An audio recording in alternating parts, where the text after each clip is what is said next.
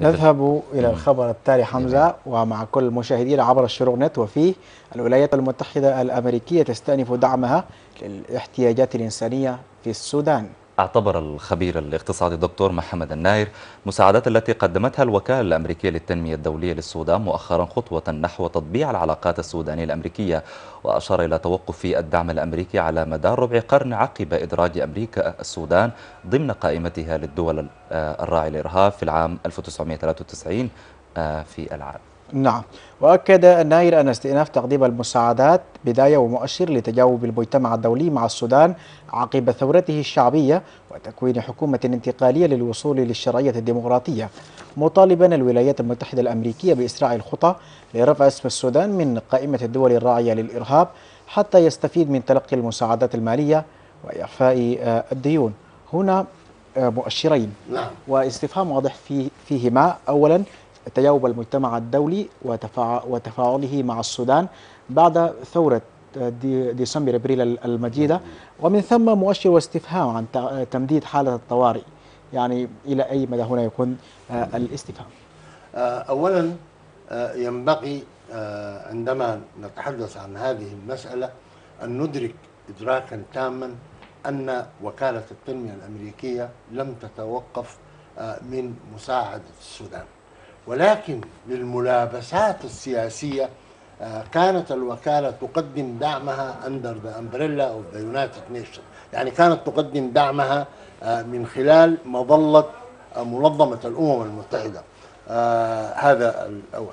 الآن الجديد في هذا الأمر هو أنها تحرص في الفترة الأخيرة على تقديم هذه المساعدات مباشرة باعتبار أن هنالك تغيير حدث في السودان فينبغي مع هذا التغيير أن تتغير السياسات الأمريكية فيما يتعلق بالمساعدات الإقاسية الإنسانية وتقديم لمنظومات المجتمع المدني. أما التعامل فيما يتعلق برفع الديون وغيرها هذه سياسات كلية من وزارة الخزانة الأمريكية لا تتأتى لها المباشرة في هذا الأمر إلا عن طريق السياسة العليا المتعلقة بالرئاسة ووزارة الخارجية والكونغرس الأمريكي بشقين مجلس النواب ومجلس الشيوخ. هذا يندل.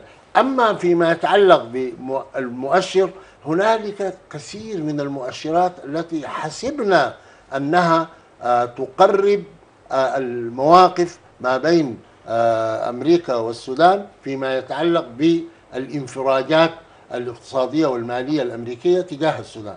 إلا أن ما حدث قبل يومين أو ما حدث في اليومين الماضيين من تمديد حالة الطوارئ الأمريكية المتعلقة بالتعامل مع السودان لا يبشر بكثير خير لأن هذا معناه أنهم يسيروا في ذات الاتجاه ويطالبوا بذات المطلوبات على الرغم من أن السودان في كثير من هذه المطلوبات أنفذ يعني جانبا كبيرا منها كان ينبغي أن يقدر هذا الجانب وأن تعطى التغييرات هذه دفعة من خلال رفع اسم السودان من قائمة الدول الراعية للإرهاب إلا أننا ما زلنا في هذا المربط لم يتغير كثير اتجاه أو لم تكن هناك مؤشرات جادة في رفع هذا الأمر. بقدر ما تأتي مثلا من السفارة الأمريكية ممثلة في القائمة القائم بالأعمال الأمريكي بأن هناك يعني أمر وشيك في هذا الاتجاه رفع لكن لم يحدث شيئا آه لم يحدث شيء ملموس. نستطيع أن نقول أن هذا أحد المؤشرات المهمة لرفع آه آه هذا الأمر أو لرفع العقوبات المفروضة على السودان فيما يتعلق بقائمة الدول الراعية للإرهاب. أها. آه، أستاذ إمام لو رجعنا بالذاكرة كده شوية لاجتماعات العام الأمم المتحدة بنيويورك شارد عدد من رؤساء الدول الشقيقة لإزاحة اسم السودان من قائمة الدول الراعية للإرهاب وأيضا التنديد كان من قبل حمدوك بأن ما ذنب الشعب أن يدفع ثمن دفع آه، كان له آه، كانت الحكو النظام السابق كان له نعم. الأثر الكبير. الحالة أو الصورة واضحة الآن لتعافي السودان تدريجيا نحو عملية السلام. كثير جدا الولايات المتحدة تربط إزالة اسم السودان بعوامل الأخرى ربطتها بعملية إحلال السلام سلام. والآن يتم التفاوض بجوبا للتوصل لصيغة سلام نهائي.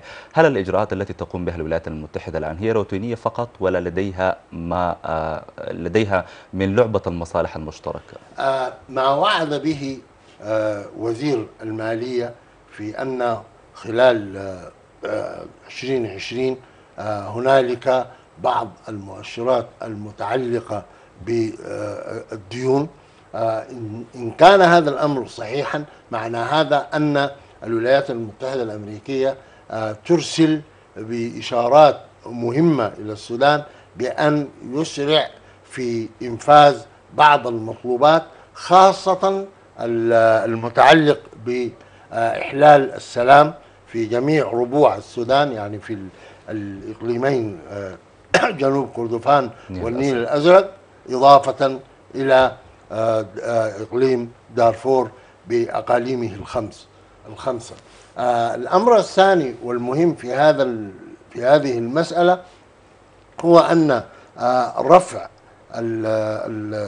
اسم السودان من قائمة الدول الراعية للإرهاب لن يقتصر في تحسين العلائق ما بين السودان وأمريكا لأن هذا يشكل مضاغطة حقيقية للمعاملات المالية والاقتصادية والتجارية ما بين السودان وبين كثير من الدول حتى ما بين بعض الدول العربية, العربية والخليجية. فلذلك نحن أحرص ما يكون أن نعمل في هذا الاتجاه اتجاه أن يرفع اسم السودان من قائمة الدول الراعية للإرهاب حتى تنفرد كل مقاليق العمل الاقتصادي والتجاري والمالي بين السودان ودول العالم الأخرى خاصة التي آه، الولايات المتحدة لها عليها تأثيرات واضحة. أستاذ إمام يعني في نقطة لربما يكون فيها تناقض قليلا. نتحدث عن إيصال مساعدات كانت مقفولة لربع قرن من الزمن آه، يتم التوصل مجددا لفتح منظمات المختلفة الدولية لتوصيل المساعدات الإنسانية للسودان. وجانب آخر هو جانب تمديد حالة الطوارئ آه، في ظل الحصار المفروض على السودان لإقامة دور راعي الإرهاب يعني لم نشهد استثمارات حقيقية. هل فقط ننتظر كل ما يأتي من معينات خارجية آه، والسودان لا زال في الحظر الاقتصادي؟ نعم هذه إشكالية من المهم أن, أن نعالجها معالجة حقيقية آه، بالعمل آه، بجدية واجتهاد في إطار آه، إنفاذ هذه المعالجات المتعلقة بالعلائق السودانية الأمريكية.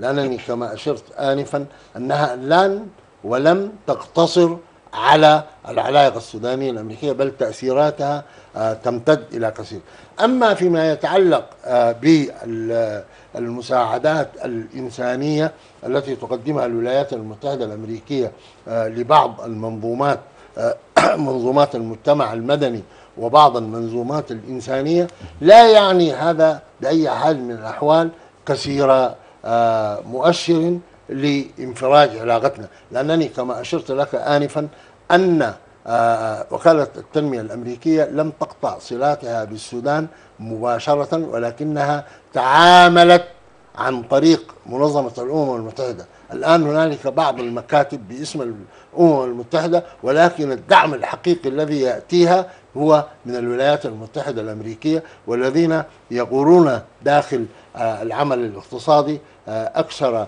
علما آه، بهذه المسائل. أن الولايات المتحدة في الفترة السابقة أرادت أن ترسل رسالة أنها لن تتعاون مباشرة مع النظام السابق ولكنها لم تسكت عن عن الاستجابة لنداءات ومناشدات آه، الإغاثات الإنسانية في آه، أقاليم السودان المختلفة. نعم. سعدنا بك جدا أستاذ إمام محمد إمام. نتمنى نلتقي إن شاء الله في مواعيد قادمة. مزيد من الأحداث بكل تأكيد تتابع عبر الشرونت ولكم التحليل. أحداث تكون إن شاء الله مبشرة بالخير وبانفراج العلائق السودانية الأمريكية ومن ثم رفع اسم السودان آه، من قائمة الدول الراعية للإرهاب. طابت جمعتكم وجمعة آه، مشاهديكما في السودان وخارجه. شكرا جزيلا.